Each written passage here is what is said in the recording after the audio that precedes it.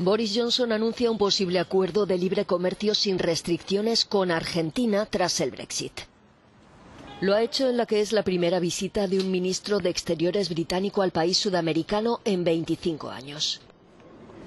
Johnson ha alabado las reformas económicas emprendidas por Buenos Aires y ha hablado de una reinserción inteligente en un contexto mundial ampliado comparable a lo que vive su país.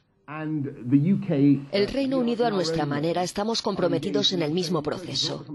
No nos estamos volviendo menos europeos, creemos que podemos hacer aún más comercio con nuestros socios europeos, pero queremos ser más globales, más abiertos al exterior, más comprometidos que nunca con el resto del mundo, y es evidente que Argentina nos brinda una maravillosa oportunidad.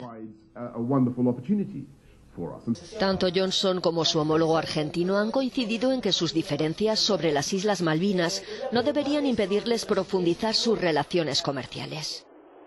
Ambos países reclaman la soberanía de este territorio en el Atlántico Sur, una disputa que les llevó a protagonizar una guerra en 1982 en la que Argentina fue derrotada.